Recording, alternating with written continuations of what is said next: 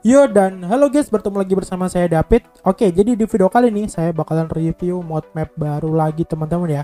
Buatan si Daddy Stuff cuy. Uh, Sugar Daddy gitu ya kan. Beda. Oke, jadi nama mapnya itu adalah map uh, part cuy. Apa kepanjangannya bang? Yaitu kepanjangan adalah Part Arthur's Racing Complex cuy. Biasalah ulang Jawa cuy nggak bisa bisa Inggris ya kan. Oke. Oke lanjut teman-teman. Oke tapi sebelum kalian download map ini Kalian wajib banget nonton video review berikut ini teman-teman ya. Biar kalian tuh nggak kecewa cuy. Karena apa? Karena ah elah boy. Oke dan juga sebelum kalian lanjut nonton video ini Langkah baiknya kalian cek tombol subscribe-nya dulu teman-teman. Dan jangan lupa kalian aktifkan juga lonceng notifikasinya teman-teman ya. Biar apa sih bang? Biar kalau aku ada video baru tuh kalian akan mendapatkan notifikasi pertama teman-teman. Dan oke cuy kita langsung review aja ya kan anjay gitu ya kan Joy. Oke teman-teman kita udah ada di in gamenya dan ini dia sih ya. Kan gue pakai Legend nih cuy yang beda. Pakai BMW yang kemarin cuy ya. Nah kalau kalian nanya Bang lu pakai mata PK yang mana bang? Yang di video kemarin itu teman-teman ya. Karena gue tuh upload setiap hari cuy. Jadi banyak banget videonya ya kan oke jadi gue pakai BMW teman-teman ya kan kita langsung cobain aja jadi uh, map ini mau replace map apa sih bang oke kita langsung cobain aja ya cuy tanpa banyak basa-basi nih cuy karena uh, berhubung uh, lagi ada syuting film Need for Speed Most Wanted cuy jadi aku gak akan lama-lama teman-teman di video kali ini Oke, jadi untuk map ini tuh mereplace map Kansai cuy ya. Kita langsung cobain di map Kansai teman-teman ya kan kita langsung klik mulai dan ini dia ya cuy ya kan beda. Uh, map Kansai kita jadi uh, kelihatan HD gitu ya kan cuy. Karena udah di retekstur sama si Daddy Sugar Daddy-nya ya kan anjay. Oke, jadi uh, kalau kalian mau download nanti linknya ada di uh, pin komentar paling atas teman-teman ya kan.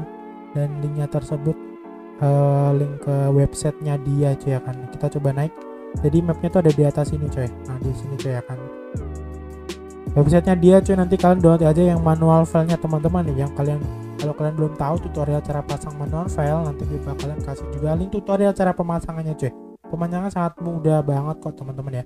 Oke jadinya dia coy ya. Part actors coy PA PACR coy ya kan. PA, PARC sorry. Oke ini dia teman-teman ya. Badawi uh, kita baru masuk aja udah disambut dengan pepohonan yang keren-keren cuy ya kan. Beda kayak jalannya kotak-kotak semua dong nah di sini ada percabangan cuy kita coba ke sini aja ke kanan lah wih kayak karnaval gitu ya kan anjay gitu ya kan cuy kita uh, sedikit room tour aja lah keliling sini dulu ya kan. Apa aja sih ya kan di bagian sini. Nah di bagian sini kosong ya nah treknya mana ada treknya ntar.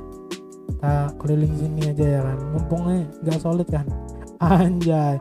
Oke jadi uh, tempat uh, balapannya tuh di sini kayaknya dah. Nah, nah tuh tuh. Nah sirkuitnya di situ cah kita cobain langsung ke sirkuitnya teman-teman.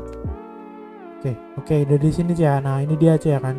Beda jalan cukup sempit cuy tapi menurut gue sih HD, HD banget sih grafiknya cuy keren sih ya kan. Sangat HD banget cuy. Ini sangat recommended sih buat kalian yang ingin belajar drifting ya kan di map sini ya kan teman-teman ya kan? Apalagi dibuat modpack juga keren juga nih cuy. Ya kan? Oke. Okay. jadi map ini sangat keren banget teman-teman. Sangat cocok banget buat kalian semua yang mau cobain map ini. Grafiknya juga HD cuy. Kan saya kita lebih HD lagi teman-teman ya kan? Wih keren juga loh map ini lo buat sinematik sinematik gitu cuy ya kan?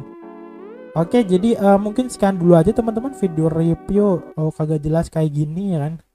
Jadi uh, gitulah pokoknya kalau kalian mau download nanti linknya di deskripsi cuy. Oke, yuk kita ketemu lagi di video berikutnya. Bye bye. Keren juga ya map ini ya. Bisa kayak gini nih. Nih, bede. Tapi terlalu sempit sih mapnya sih.